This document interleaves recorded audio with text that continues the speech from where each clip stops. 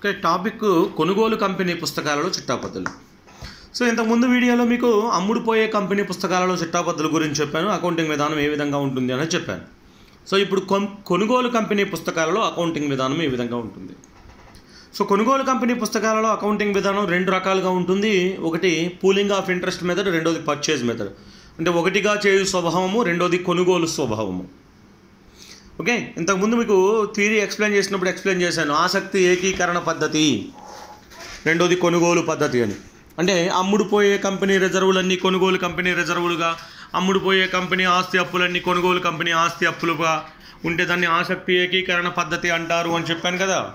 So ఇక్కడ కొనుగోలు ఏ కొనుగోలు పద్ధతి ఒకటి ఆసక్తి ఏకీకరణ పద్ధతి ఒకటి. సో అందులో ఫస్ట్ ఆసక్తి ఏకీకరణ పద్ధతి or pooling of interest method. So ఈ పద్ధతిలో అమ్ముడుపోయే కంపెనీ యొక్క రిజర్వులన్నీ కూడా కొనుగోలు కంపెనీ రిజర్వులుగా ఉంటాయి. ఒక్క సాధారణ రిజర్వు మినహా. ఓకేనా?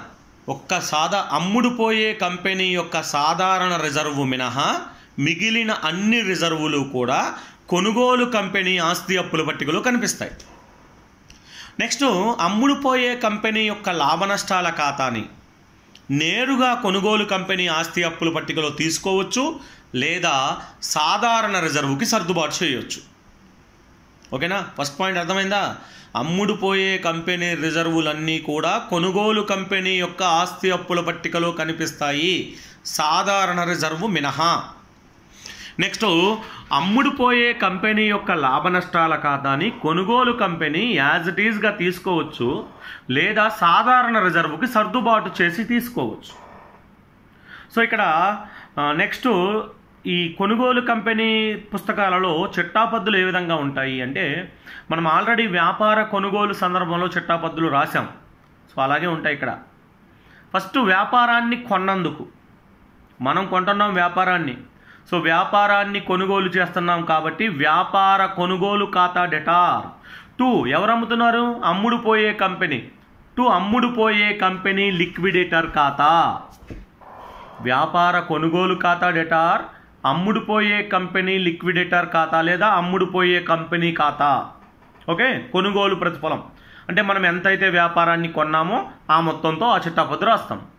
రెండోది ఏంటంటే కొనుగోలు కంపెనీ అమ్ముడుపోయే కంపెనీ నుంచి ఏ ఆస్తులైతే తీసుకుందో ఆ ఆస్తులన్నింటినీ డెబిట్ చేసుకుంటుంది. అమ్ముడుపోయే కంపెనీ నుంచి కొనుగోలు కంపెనీ తీసుకున్న ఆస్తులన్నింటినీ డెబిట్ చేసుకుంటుంది. అలాగే తీసుకున్న అప్పులన్నింటినీ క్రెడిట్ చేసుకుంటుంది.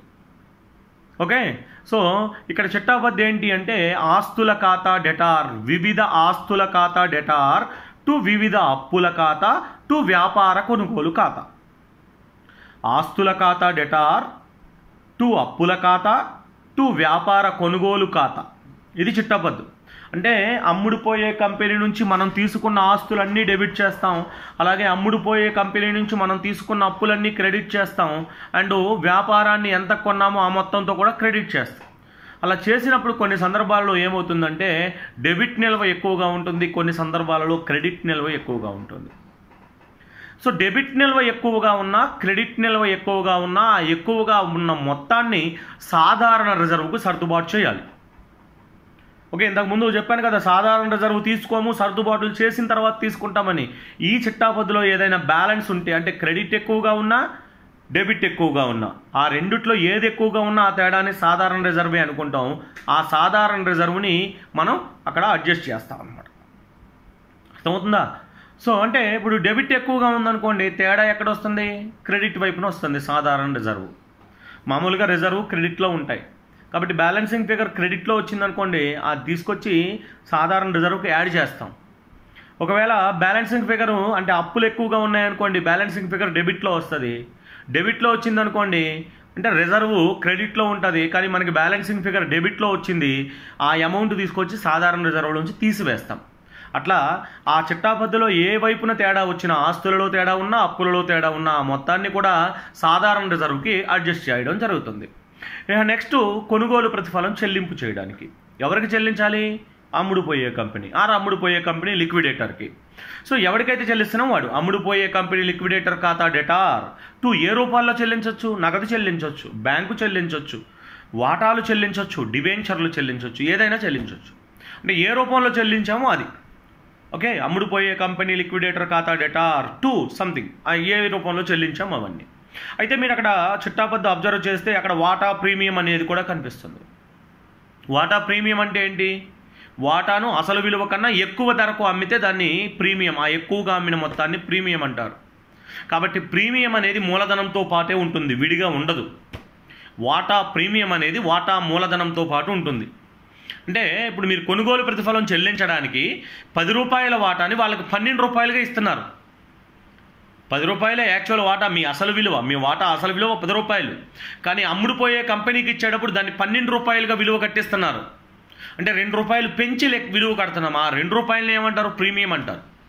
ఆ వాటాలు ఇచ్చినప్పుడు మాత్రమే ప్రీమియంతో ప్రీమియం అనేది సెపరేట్గా ఉంటుంది.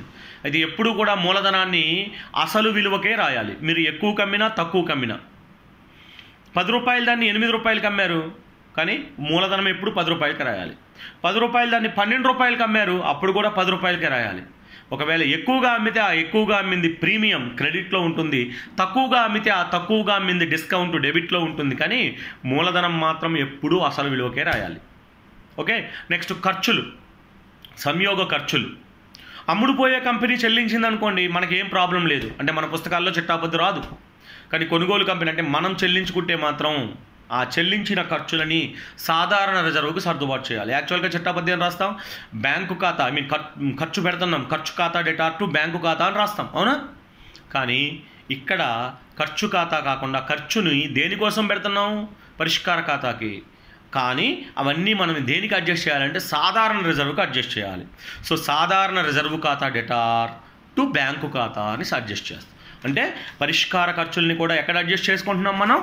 సాధారణ రిజర్వ్కి అడ్జస్ట్ చేస్తున్నాం. అట్లా అన్ని వ్యవహారాలు అంటే అడ్జస్ట్ చేయాల్సినవన్నీ కూడా సాధారణ రిజర్వ్కి అడ్జస్ట్ చేశాక ఆ వచ్చిన నిల్వని మనం కొనుగోలు కంపెనీ ఆస్తి అప్పుల పట్టికలో చూపించుకుంటాం అనమాట రైట్ సో దిస్ ఇస్ చిట్టాపదిలో ఏ ఏ సందర్భంలో?